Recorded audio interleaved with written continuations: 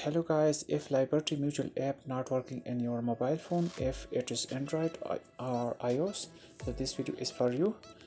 So please watch the full video and also uh, give a like to this video. So let's get started. First of all you should uh, have to use the latest version of the liberty mutual app. So for this go to google play store if you are using android and app store if you are using ios and search for liberty mutual and then search it. And here you will see update button option. Simply update it. So on this method it will uh, start working. But uh, after that it, uh, it's it is still not working. Then go to the settings of your mobile phone and then tap on uh, apps and notifications. And after that tap on apps.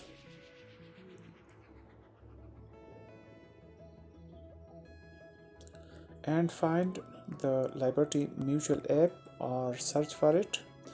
So i have searched for liberty mutual app and here simply tap on storage option and clear the cache and data of the liberty app option. After that go back a little bit and allow all permissions. Uh, and after that uh, simply tap on force stop option and then ok so hope this will uh, with this method it will start working. But if it uh, it is still not working then go to google play store again or app store and search for liberty mutual app and then tap on the, the app and uninstall it.